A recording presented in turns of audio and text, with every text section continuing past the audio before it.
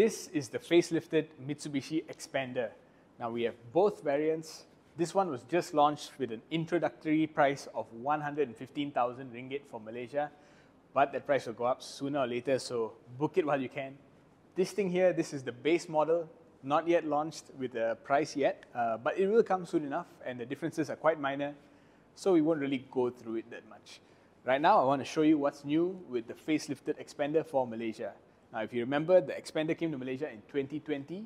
Now it's 2024. We're getting a pretty minor facelift, and some things haven't really changed versus like the Thai spec. In Thailand, they're getting a CVT.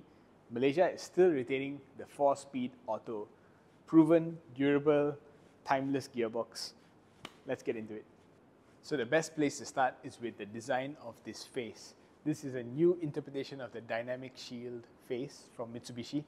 And as you can see, it's a little bit more dynamic than before. You've got two glossy black plastic slots up front and then another one at the bottom here. The Mitsubishi logo is much larger than before and your LED positioning lights are all in a slightly revised and slightly redesigned shape. And down here you've got a T-shaped headlamp cluster and the whole thing just looks a lot more dynamic than before. Uh, a lot more chrome on this model, on the base model. The bottom here is not even painted. Here it's silver, silver gray. And uh, yeah, it's just a lot more dynamic and exciting to look at compared to before. Now, why is this relevant? I think it's because people nowadays, even though they're buying an MPV for family purposes, they want a car that looks modern and sporty and futuristic. I think they did a really good job tidying up the Xpander for that purpose. So the facelifted Xpander rims look like this. It's a dual tone setup and the uh, Mitsubishi logo in the center is in silver. I think 17 inch is the perfect size for this kind of vehicle because 17 inch tires are actually not that expensive.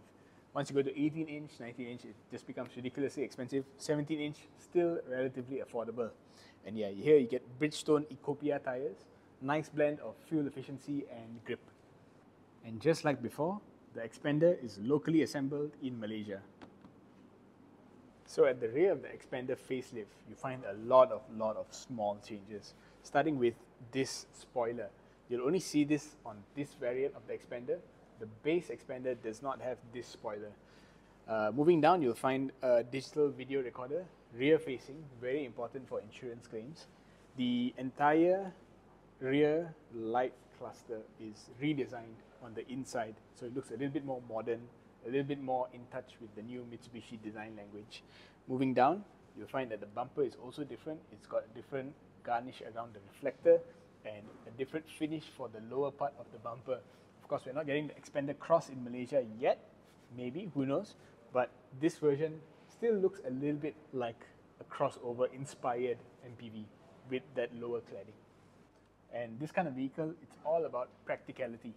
So you open up the boot, you can see with the rear seats folded down, it's super, super spacious, right? And you still get under this thing access to your spare tire, which is a bolt down here. You open it, spare tire comes up from underneath the car and doesn't take any room here. In fact, this room here is all for additional cargo. So you can put stuff here, it's all segmented. Uh, yeah, perfectly great for small families. And in case you want to move seven people, which a lot of families need to do, you can just easily pull up the seats. And you have one of the last few 5 plus 2 seater compact MPVs on the market at a relatively affordable price. So the Xpander really is perfect for expanding families. Inside you've got 5 spots to sit and you've got your aircon controls up here, 4 blowers and a dial so you can actually control the blower speed from the back. So you've got USB-C and USB-A charging from the facelift, and you've also got a 12 volt socket at the back. Now, of course, the most important thing in a car like this, you want entry and exit for the rear passengers to be as easy as possible. On the Xpander, both sides of the seats can be tumbled down with one press and tilt. Super simple, very lightweight. Um, yeah, just makes getting in and out of the back seat so easy. And again, this works for both sides of the vehicle. Up front, you see some big changes with the Xpander. The entire dashboard design now is a lot more premium with a nice long horizontal bar going across the entire cabin. Now, it's not just the design, it's also the materials that are better. There's like a kind of nice uh, leather layer on top of everywhere that your arms touch. So, elbows, both sides, and of course, near the um, aircon vents. You know, anywhere your hands can accidentally touch, there's some nice padded leather now. And it's in this really interesting shade of dark, dark brown. It's almost black, so it's easy to maintain as well. Now, on top of that, there are some nice new amenities like a wireless charger, and this new digital aircon interface is probably the most easy to understand one. There's no like degrees Celsius or anything, it's just hot or cool. Super simple, super straightforward. Besides that, electric parking brake, auto hold, simple but comfortable steering wheel, and that ties in line with everything about this car. Simple but usable and um, well you still get that 4 speed auto like I mentioned before so this gear stick selector is still the same as before. Very very familiar.